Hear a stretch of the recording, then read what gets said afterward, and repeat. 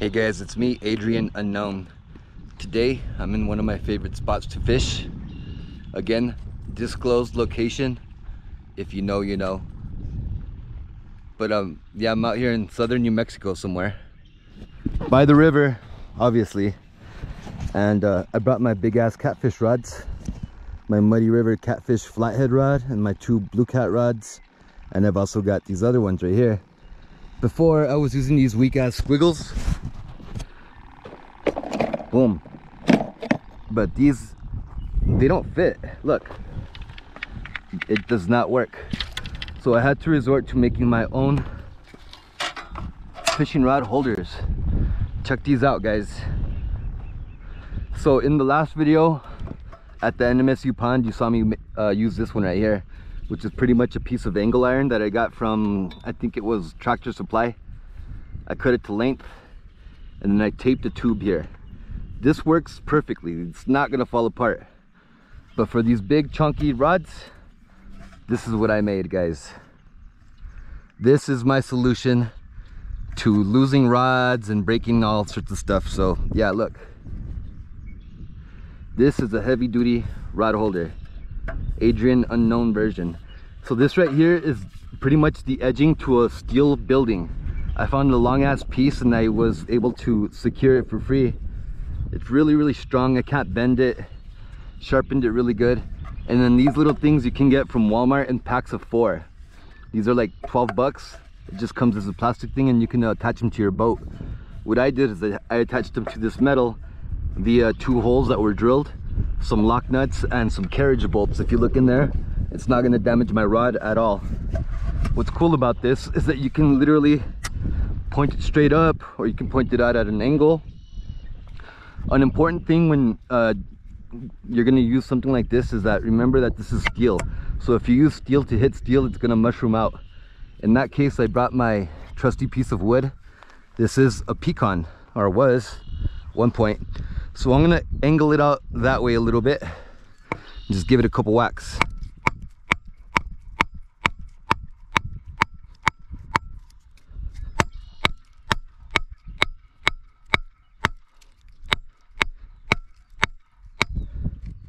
And with that, I'm pretty sure it's not gonna go anywhere. Let's see what I'm gonna use first. Here we have my flathead rod and it's from my good friend Chris Flores of Muddy River catfishing. You can see it's just gonna slip right in there like that and it'd be absolutely perfect.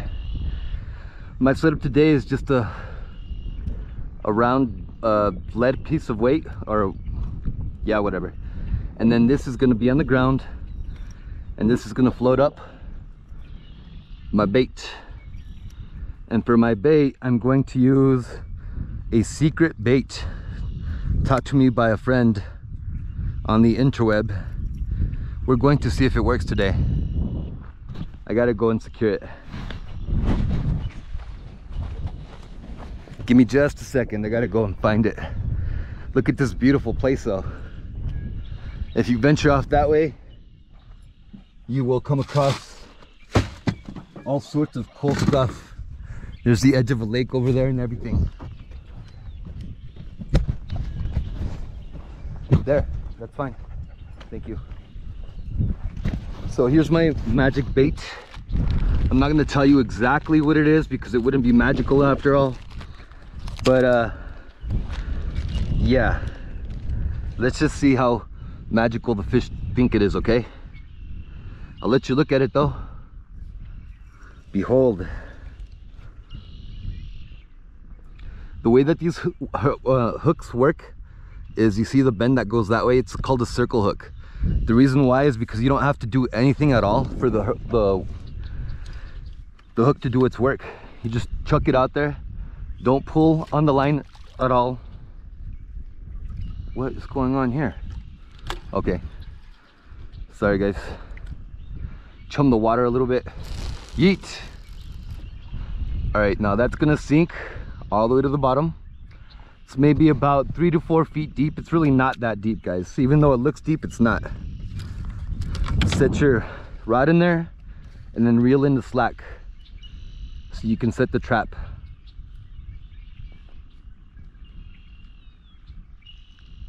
just like that and now we wait guys. Anyways this is my somewhat secret spot. Secret because i'm not going to tell you guys. But yeah if you're a fisherman here in southern new mexico you probably know where this is at. And that's good enough for me. Here with this rod right here i'm going to use some 30 pound line and this is a Penn Power Stik same setup as before. We're gonna ground fish. I'm going to use a minnow. This time i'm going to use i guess it's a medium size. We couldn't secure any big ones today but whatever. To keep this fish lively i'm gonna hook it from the butt or through the butt through the tail. There. Like so that way he's lively in the water puts on a good show.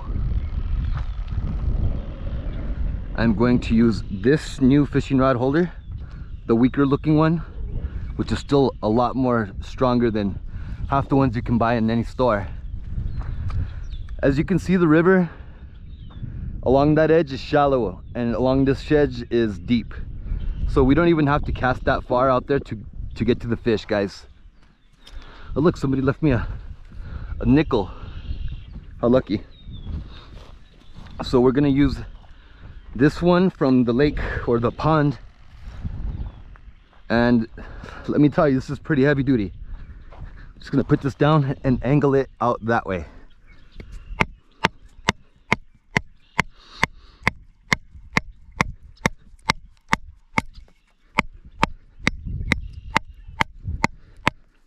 yeah super strong guys. I'll never have to buy another fishing rod holder again. Look at that. Ta-da! Awesome. Some duct tape and some ingenuity. That's all it took. Check it out guys. Look around. What a pretty place with the sounds of nature I do have more than two rods, but there's three people out here. As always, follow the rules. Rules and regulations and all that shit. You don't want to get popped by the man. It's very expensive. It's crazy how close to the water I am right here. Like, if you just got close enough, you could fall in. But that's not gonna happen. Eventually, I will get my little flat boat, my uh, John boat, and bring it out here. Can't be that deep. I just got to get it registered again for this year and we'll be good to go. Again guys, thanks for watching my channel. I know I haven't been doing too much. I've been working a lot. I love my work though. I get to uh, be around the devil's lettuce all day long and all the side products and all that cool shit. Like me on YouTube, Facebook if you can find me. And uh, yeah, I am a bud tender for High Horse Cannabis. Look for my name and in the reviews. Pretty good at this. Can't say that about a lot of things, but yeah, I love my job. All right, guys, now we wait. I'll make another video when this thing gets exciting.